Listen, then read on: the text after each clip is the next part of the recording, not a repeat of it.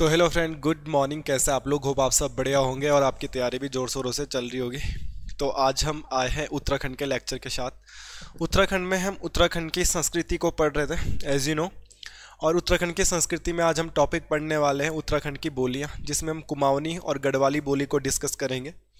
वैसे ये topic syllabus में हिंदी में दिया गया है बट हिंदी का सिलेबस या हिंदी की क्लासेस आप देख रहे होंगे। उधर मैंने ये पढ़ाया नहीं था। तो इस सिलेबस को मैं उत्तराखंड की संस्कृति का सिलेबस मानता हूँ। और उत्तराखंड का कल्चर ही है ये गढ़वाली कुमावनी। तो इस गढ़वाली कुमावनी को हम उत्तराखंड के कल्चर के बिहाब पे पढ़ने वाले हैं। ठीक है? तो बेसिकली ये गढ़वाली कुमावनी कहाँ पूछा जाता है? हिंदी में पूछा जा रहा है। बट हम इसे कहाँ पे पढ़ रहे हैं? उत्तराखंड की संस्कृति में। तो ये आपको उत्तराखंड के प्लेलिस्ट में मिलेगा नॉट की हिंदी के प्लेलिस्ट में। तो शुरू करते हैं आज उत्तराखंड की क्लास इसमें पढ़ रहे हैं हम उत्तराखंड की बोलियाँ। उत्तराखंड की बोलियों को पढ़ने की कोशिश हम करेंगे। यहाँ से बी के पेपर में भी क्वेश्चन आया था। हम इसे दो हिस्सों में पढ़ने की कोशिश करेंगे। First of all Kumaon and second of Garhwali बोलियाँ। इन बोलियों को कितने भाग है कितने भागों में बांटा गया है, किस भाग के अंदर कौन कौन सी बोली आती है, इन सबको पढ़ने की और देखने की कोशिश आज हम करने वाले हैं। सबसे पहले हेडिंग लिखेंगे कुमावनी बोली। कुमावनी बोली में क्या चीज़ें हमें देखने के लिए मिलती है, उन चीज़ों को समझने की कोशिश करते हैं। सबसे पहली हेडिंग होगी आज आपकी, उत्तराखंड की बोलियों में, कुमाऊनी बोली। कुमाऊनी बोली से हमको क्या चीज़ें याद रखनी है? पहले वन लाइनर फैक्ट पे मैं बात करने वाला हूँ। चार वन लाइनर फैक्ट इसका विकास, अगर बोली की बात करूँ मैं, इस बोली का विकास, इस बोली का विकास किससे हुआ है भाई? बताओ। इस बोली का विकास सौर सैनी अपभ्रंश से हुआ है। अगर क्वेश्चन आएगा, कुमावनी बोली का विकास किस सेवा है? तो कुमावनी बोली का विकास किस सेवा मेरे दोस्त, सौर सैनी से हुआ है। आपके सामने बोर्ड पे लिखा हुआ है। दूसरी बात, हमें कुमावनी बोली के बारे में क्या पता चलती है? दूसरी बात, हमें कुमावनी बोली के बारे में ये पता चलती है कि यह खड़ी बोली से बड़ी मिलती जुलती है।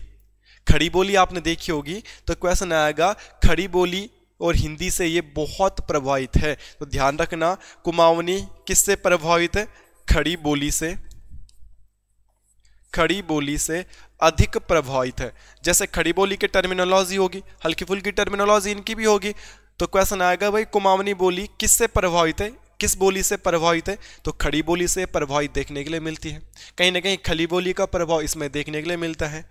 एंड द थर्ड वन इस बोली में सिमिलरिटी भी दिखती है और अवधि के जैसी। अगर क्वेश्चन आएगा कि कुमाऊनी में किस बोली के जैसे समानता देखने के लिए मिलती है तो अवधि के जैसे इसमें समानता देखने के लिए मिलती है। तो तीन चार चीज़ें आपको वन लाइनर क्वेश्चन देखने के लिए मिला। And the last one fact आपको याद रखना है, इसी कुमाऊनी को पहाड़ी हिंदी के नाम से भी जाना जाता है। इसी को किस नाम जाना जाता है? पहाड़ी हिंदी भी कहते हैं। तो हम उत्तराखंड की बोलियों में कुमावनी और गढ़वाली के मेनली फैक्ट पढ़ने वाले हैं। कुमावनी और गढ़वाली के फैक्ट अगर हम इसको पढ़ने की कोशिश करेंगे तो इसमें से कुछ चीज़ें हमें पता चलती है। और क्या चीज़ें हमें पता चलती है, वो देखो। इस बोली का विकास सौर सैनी से हुआ है। खड़ी बोली से अधिक प्रभावित देखने के लिए मिलती है। मतलब खड़ी बोली से कहीं ना कहीं प्रभावित होगी इम्पैक्टफुल होगी। अवधि की जैसे समानता देखने के लिए मिलती है। अब अवधि बोली तो मुझे बोलनी नहीं आती है, ना मुझे कुमाऊनी आती है बट कहीं ना कहीं अवधि के जैसे समानता इसमें देखने के लिए मिलती है। और इसी कुमाऊनी बोली को पहाड़ी हिंदी के नाम से भी जाना जा सकता है। ये थी आपकी पहली स्लाइड जिसमें चार वन लाइनर क्वेश्चन आपको देखने के लिए मिले। तो ये बहुत इंपॉर्टेंट आपके लिए होने वाला है। अब यहाँ से हम जो पढ़ेंगे आगे कुमाऊनी बोली को तो मैं अपने हिसाब से तो पढ़ाऊँगा नहीं आपको।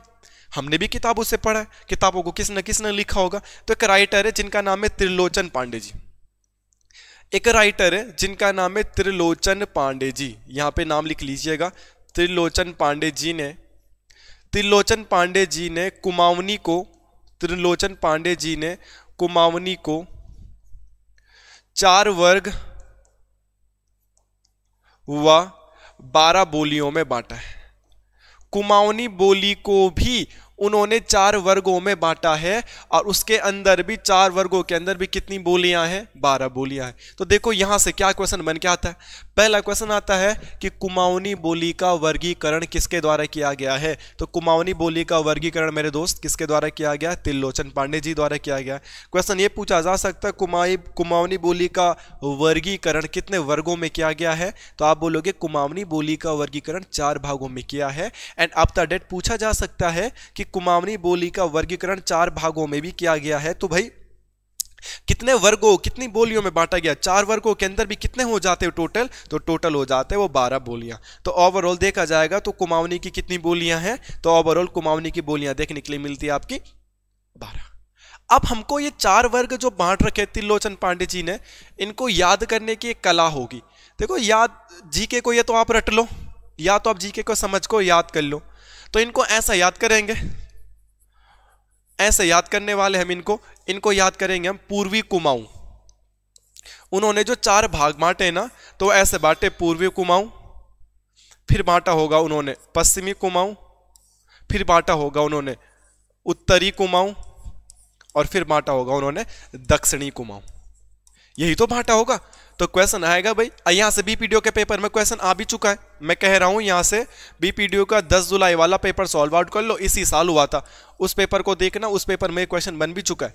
तो क्वेश्चन आ सकता है आपके पास कि त्रिलोचन पांडे जी ने कुमाऊनी को चार भागों में बांटा है। बट कौन कौन से चार भाग है भाई वो? तो आपके सामने बोर्ड पे लिखे हैं। तो ये चार भाग आपको आराम से याद हो जाएँगे। सबसे पहले कुमाऊनी का याद करना है। कुमाऊनी के अंदर जो चार बोलियाँ है ना, उनकी राइम एक जैसे है। सौरियाली, सीरियाली, अस्कोटी और कुमाऊं है कि तो कुमैया। सौरियाली, सीरियाली, अस्कोटी, कुमैया। सौरियाली, सीरियाली, अस्कोटी, कुमैया। सौरियाली, सीरियाली, अस्कोटी, कुमैया। तो आपको क्या याद करना है? पूर्वी कुमाऊनी में आपके पास चार बोली आए। पहली बोली का नाम है सौरियाली। दूसरी बोली का नाम है सीरियाली। तीसरी बोली का नाम है अस्कोटी। एंड लास्ट वन बोली का नाम है कुमैया। ये भी एक बोली है। हल्का फुल्का नेम में चेंज हो सकता है क्योंकि मुझे कुमाऊनी तो आती नहीं है तो जितना जितना मैं पढ़ पाया हूँ, उतना उतना मैं आपको बता दूँगा। तो पूर्वी कुमाऊं के अंदर क्वेश्चन है। देखो क्वेश्चन तो ये कोई कुमाऊनी बोली के अंदर कितनी बोलियाँ हैं। तो कुमाऊनी बोली के अंदर पहले चार भाग है, चार पार्ट्स है। और उन चार पार्ट्स के अंदर भी टोटल कितनी बोलियाँ पढ़ने में बारह। जिन बारह में से चार तो हम पढ़ ही चुके हैं। ये क्वेश्चन ऐसा भी तो आ सकता है कि पूर्वी कुमाऊनी के अंतर्गत कौन कौन सी बोलियाँ आती हैं? पूर्वी कुमाऊनी के अंतर्गत कितनी बोलियाँ आती हैं? तो पूर्वी कुमाऊनी के अंतर्गत कितनी बोलियाँ आती है? चार कौन कौन से आती है? बोर्ड पे लिखा है। इंपॉर्टेंट और मुश्किल क्वेश्चन क्या है? एक बोली यहाँ से देगा, एक यहाँ से देगा, एक यहाँ से देगा, एक यहाँ से देगा, बोलेगा पूर्वी कुमाऊनी की कौन सी वाली बोली है? या पश्चिमी कुमाऊनी की कौन सी वाली बोली है? यहाँ से बड़ा इंपॉर्टेंट क्वेश्चन बनता है। और मैं गारंटेड बोल रहा हूँ, आप लोगों ने इससे पहले भी ये चीज़ें पढ़ी हैं। बस प्रॉब्लम यही है आप लोगों के साथ। आपने पढ़ी है, आपने याद नहीं किया है। अब की बार हमको चीज़ें याद करनी है। लिखना ही लिखना नहीं है, उनके साथ याद भी करना है। हमने क्या याद करना है? कि कुमाऊनी को कौन बांटता है? त्रिलोचन पांडे। कितने भागों में बांटता है? चार। कितने बोलियों में बांटता है? बारह। पहला भाग कौन है? पूर्वी कुमाऊं। पूर्वी कुमाऊं में क्या आएँगे? सौरियाली, सीरियाली, अस्कोटी, कुमैया। सौरियाली, सीरियाली, अस्कोटी, कुमैया।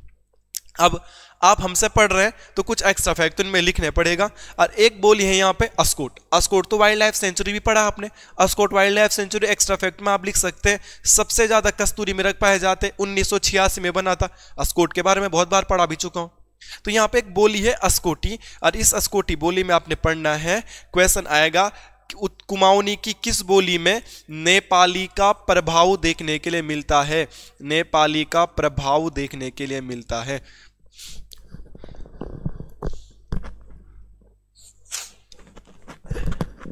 इंपॉर्टेंट करके क्या चीज़ समझ में आई आपकी? अगर क्वेश्चन आएगा, कुमाऊनी की किस बोली में नेपाली भाषा का प्रभाव देखने के लिए मिलता है? तो नेपाली भाषा का प्रभाव देखने के लिए आपको किसमें मिलता है मेरे दोस्तों? अस्कूटी में देखने के लिए मिलता है। तो यहाँ से एक्स्ट्रा फैक्ट आपके सामने ये समझ में आता है। दूसरा है पश्चिमी कुमाऊं। पर हम पश्चिमी कुमाऊं को तो पढ़ने ही नहीं वाले हैं। हम पश्चिमी कुमाऊं को पढ़ेंगे नहीं। हम पश्चिमी कुमाऊं को क्यों नहीं पढ़ेंगे? अरे हमें बारह बोलियाँ याद करनी है। और हम तीनों को याद कर लेंगे तो चौथी तो अपना आप ही समझ में आ जाएगी ना, क्योंकि चार भागों में बटा है। अब पश्चिमी कुमाऊनी में बोलियों की संख्या ज़्यादा है। तो हम पूर्वी याद कर लेंगे, उत्तरी याद कर लेंगे, दक्षिणी याद कर लेंगे, जो बचेगा वो पश्चिमी होगा कि नहीं होगा? क्योंकि उन तीनों में कम कम बोलियाँ हैं। उन तीनों में कम कम बोलिए जैसे मैं बता रहा हूँ, तुम वैसा याद कर लो, उत्तरी कुमाऊनी में आपको एक ही चीज़ याद रखनी है, और उत्तरी कुमाऊनी में हमको एक ही बोली देखने के लिए मिलती है जिस बोली का नाम है जोहारी। उत्तरी कुमाऊनी में हमको एक ही बोली देखने के लिए मिलती है, जिस बोली का नाम है जोहारी। तो क्वेश्चन आएगा, जोहारी बोली किस कुमाऊनी का हिस्सा है? तो जोहारी बोली किस कुमाऊनी का हिस्सा है? उत्तरी कुमाऊनी का। अब आप कुमाऊं को देखो, जोहार का परवेज द्वार मुनिस्यारी को देखो, पिथौरागढ़ का देखो, टॉप पे है, ऊपर है। और आपको पता है कि उत्तराखंड का ऊपर वाला जो हिस्सा है, किससे मिलता है? उत्तराखंड का नक्शा आयताकार देखने के लिए मिलता है। पिथौरागढ़ का पोर्शन ये है कोने पे। इसके ऊपर एक देश है जिसका नाम है चाइना या तिब्बत। इसके ऊपर एक देश है जिसका नाम है चाइना या तिब्बत। तो यहाँ से क्या क्वेश्चन आता है मेरे दोस्त? यहाँ से क्वेश्चन आता है, इस जौहारी में तिब्बती बोली का प्रभाव देखने के लिए मिलता है। तिब्बती का प्रभाव। तो क्वेश्चन आएगा, कुमाऊनी की किस बोली में तिब्बती भाषा का प्रभाव देखने के लिए मिलता है। तो कुमाऊनी की जोहारी जो बोली है, कुमाऊनी की जोहारी जो बोली है, उस बोली में आपको टर्मिनोलॉजी जो दिखेगी मेरे दोस्तों, वो किसकी दिखेगी? तिब्बती भाषा की बोली या तिब्बती भाषा की प्रभाव आपको उसमें देखने के लिए मिलेगा। आपको ये बातें याद रखनी है। अब हम आगे चलते हैं। हमको दक्षिणी कुमाऊं याद करना है। कुमाऊं का नक्शा अगर आप देखोगे तो कुमाऊं के नक्शे में सबसे दक्षिण में कौन सी हिस्सा है? यूएस नगर है। सबसे दक्षिण में यूएस नगर है कि नहीं है? मगर यूएस नगर वालों को तो कुमाऊनी बोलनी आती भी नहीं है। बहुत कम लोगों को आती होगी। यूएस नगर में सबसे ज़्यादा सिख धर्म के लोग भी रहते हैं, हिमाचल के भी रहते हैं, ओ, सॉरी, हरियाणा के भी रहते हैं, बंगाल के भी रहते हैं, पंजाबी लोग भी रहते हैं, देसी लोग भी रहते हैं। तो उनको खुद ही कुमाऊनी कम आती है। तो कुमाऊनी किन को आती है? जो नैनीताल में रहते हैं। है कि नहीं है नैनीताल में रहते हैं? ये हिस्सा कुमाऊं का दक्षिण है कि नहीं है? कुमाऊं का दक्षिण है भाई। तो कुमाऊं के दक्षिणी में आपको कौन सी बोली बोली जाएगी? नैनीताली बोली जाएगी। नैनीताली बोली जाएगी। तो कुमाऊनी में कौन सी बोली बोली जाएगी? आपको एक याद रखना है, पहली बोली का नाम है नैनीताली दक्षिण में नैनीताल है तो नैनीताली बोली जाएगी। दूसरा इंपॉर्टेंट करके पेपर में बहुत बार आता है, इसका नाम है रच भैंसी। रच भैंसी भी एक बोली है, जो भी दक्षिणी कुमाऊनी का हिस्सा है, जिसके लिए नैन तलियाबी कहा जाता है। इसी बोली को नैन तलियाबी कहा जाता है। आप हमसे पढ़ेंगे तो एक्स्ट्रा फैक्ट ज़रूर देखने के लिए मिलेंगे। अगेन कह रहा हूँ, खुद ही इमेजिन करो, कुमाऊनी का नक्शा इमेजिन करो। कुमाऊँ के सबसे दक्षिण में एक जिला है उधम सिंह नगर। बट उधम सिंह नगर में तो ज़्यादा कुमाऊनी बोली नहीं जाती है, क्योंकि यहाँ अलग अलग रिलीजन वाले लोग रहते हैं। बट नैनीताल में तो नैनीतालिया बोली जाएगी, और नैनीताल दक्षिण है तो दक्षिणी कुमाऊँ, और यहाँ पे एक इंपॉर्टेंट करके चीज़ याद करना रच भैंसी। ये पेपर में आ चुका है। रच भैंसी एक बोली है, जो कुमाऊनी में बोली जाती है, और इस कुमाऊनी के भी कौन सी कुमाऊनी में दक्षिणी क्षेत्र में बोली जाती है, और इसी बोली को नैन तलिया के नाम से भी जाना जाता है। इसी बोली को नैन तलिया के नाम से भी जाना जाता है। अब हमको क्या याद करना है? अब हमको याद करना है पश्चिमी कुमाऊनी की बोलियाँ। पहली बात तो ये हो गई कि मेरे दोस्त कुमाऊनी में टोटल बारह बोलियाँ हैं। अगर आपने ये तीन याद भी कर ली ना कि सौरियाली, सीरियाली, अस्कोटी, कुमैया, सौरियाली, सीरियाली, अस्कोटी, कुमैया तो पूर्वी का हिस्सा हो गया। जौहारी बोली बोली जाती उत्तरी में। ठीक है? जो तिब्बती से मिलता जुलता है। नैनतलिया या दक्षिणी कुमाऊनी में बोली जाती है नैनीताली। ये भी आप आराम से याद कर सकते हैं। और जब इतनी सारी चीज़ें आप आराम से याद कर सकते हैं तो आपको कोई प्रॉब्लम भी नहीं है। अब इनके अलावा कुछ भी बोली बोल देगा आपको, उन सबका आंसर पश्चिमी कुमाऊँ तो होगा। उन सब का स्तर क्या होगा? पश्चिमी कुमाऊं होगा। और इन पश्चिमी कुमाऊं की बोलियों को लिखने की कोशिश करेंगे। खस परजिया चौगरखिया, यहाँ पर लिख देता हूँ मैं। खस परजिया चो गरखिया। फालदा, कोटी। ये पश्चिमी कुमाऊं की बोलियाँ है। ये सबसे ज़्यादा भी यही है। या तो यार तुम तीनों को याद कर लो। चौथा जो भी नाम आएगा, वो यही होगा। आपको याद करने की ज़रूरत भी नहीं पड़ेगी। बट फिर भी आपको याद करना तो आप इनको याद कर सकते हैं। अगला नाम, दानपुरिया। अगला नाम, पछाई। और अगला नाम गंगुई। तो मैंने आपको याद करने का तरीका बता दिया है।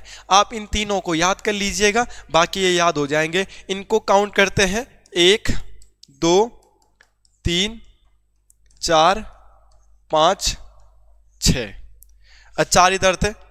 सात, आठ, नौ, दस, और एक इधर है, ग्यारह, और एक उधर है, बारह। तो इनको ध्यान में रख लीजिएगा। नैन तल नैनीताली रच भैंसी और नैनतलिया, ये एक ही बोली है, ये अलग अलग बोलियाँ नहीं हैं।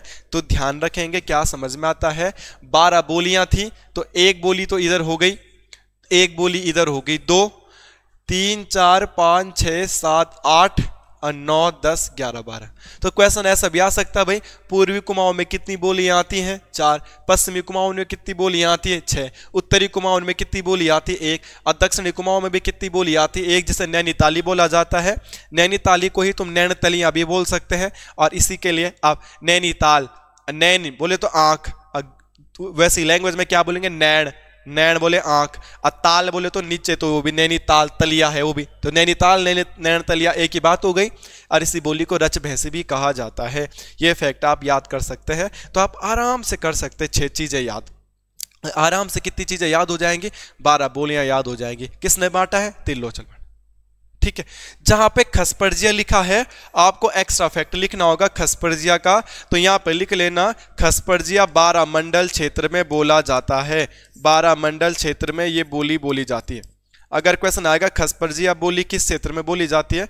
तो खसपरजिया बोली बारह मंडल क्षेत्र में बोली जाती है। और इस बारह मंडल को कुमाऊं का हृदय भी कहते हैं। The heart of Kumaon.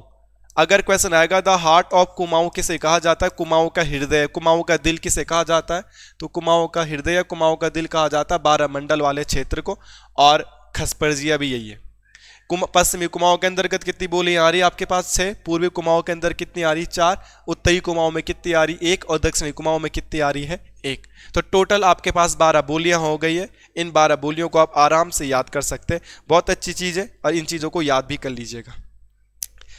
Next आगे अगर हम पढ़ने की कोशिश करें, आगे हमें कुमाऊनी के बारे में क्या फैक्ट देखने के लिए मिलेंगे? तो एक नाम देखने के लिए मिलता हमें, और वो मिलता माहेश्वर जोशी। माहेश्वर जोशी क्या बोलते हैं? माहेश्वर जोशी बोलते हैं कुमाऊनी भाषा का पहला लिखित नमूना। माहेश्वर जोशी के अनुसार, माहेश्वरी जोशी के अनुसार, माहेश्वरी जोशी के अनुसार कुमाऊनी भाषा का पहला लिखित नमूना। कुमाऊनी भाषा का पहला लिखित नमूना, पहला लिखित नमूना। कुमाऊनी भाषा का पहला लिखित नमूना कब देखने के लिए मिलता है? तो ये बोलते हैं एक हज़ार पाँच ईस्वी का देखने के लिए मिलता है। माहेश्वरी जैसी एक इतिहासकार होंगे। ये एक हज़ार पाँच का एक अभिलेख हमें बताते हैं, जिस अभिलेख का नाम है दिगांश अभिलेख, और ये इसी को बोलते हैं। दिगांश अभिलेख को, और ये दिगांश अभिलेख आपका कहाँ पर पड़ेगा? इन केस ये क्वेश्चन पूछा जाएगा तो ये क्वेश्चन आएगा आपका पिथौरागढ़। मैं अगेन कह रहा हूँ दिगांश अभिलेख कहाँ है? पिथौरागढ़ में है। और इस दिगांश अभिलेख में क्या जानकारी देखने के लिए मिलती है हमें? माहेश्वरी जोशी के अनुसार कि कुमाऊनी भाषा पहली बार लिखी कहाँ गई थी? दिगांश अभिलेख में लिखी गई थी। और कब का डाटा देते हैं ये? एक हज़ार पाँच, एक हज़ार छः का डाटा देते हैं कि एक हज़ार पाँच छः में ही पहली बार कुमाऊनी का कुछ लिखित साक्ष्य देखने के लिए मिलता है दिगांश अभिलेख से मिलता है। परंतु एक और राइटर है, जिनका नाम है योगेश चतुर्वेदी। योगेश चतुर्वेदी बोलते नहीं, योगेश चतुर्वेदी किसको बोलते हैं?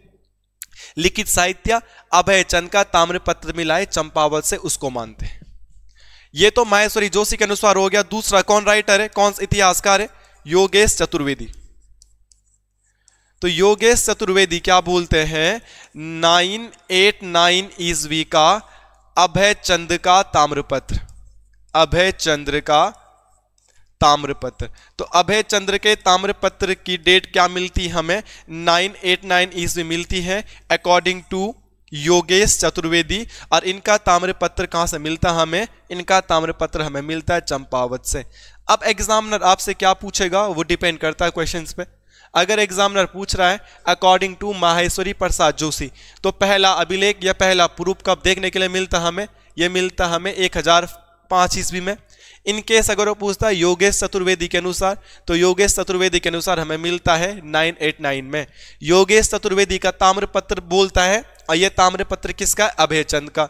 इनका ताम्रपत्र कहाँ से मिला है? चंपावत से, और दिगांश विलय कहाँ से मिला है? पिथौरागढ़ से। ये पॉइंट आप याद कर सकते हैं। एंड लास्ट फैक्ट अगर आपको याद करनी है नॉर्मल क्वेश्चन आ जाएगा कि कुमाऊनी बोली में साहित्य की शुरुआत कब से मानी जाती है? अगर नॉर्मल सा क्वेश्चन आता है, कुमाऊनी बोली में साहित्य की शुरुआत कब से मानी जाती है? साहित्य की स्टार्टिंग कुमाऊनी बोली में कब से मानी जाती है? तो आप आंसर करने वाले हैं 1800 ठीक है? कुमाऊनी बोली में अगर साहित्य की शुरुआत बोली जाएगी तो आपके बोर्ड पे अच्छा अठारह नहीं लिखा। अठारह ईस्वी लिखा है, यह कुमावनी बोली की शुरुआत मानी जाती है। ठीक है?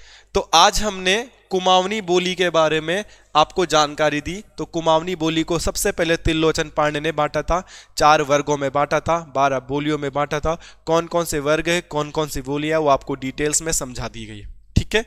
और थोड़ा मिलते हैं आपको नेक्स्ट वीडियो में, जिसमें पढ़ेंगे गढ़वाली की बोलियाँ। तब तक वीडियो को देखते रहे, चीज़ों को लिखते रहे, चीज़ों को रिविजन करते रहे। धन्यवाद।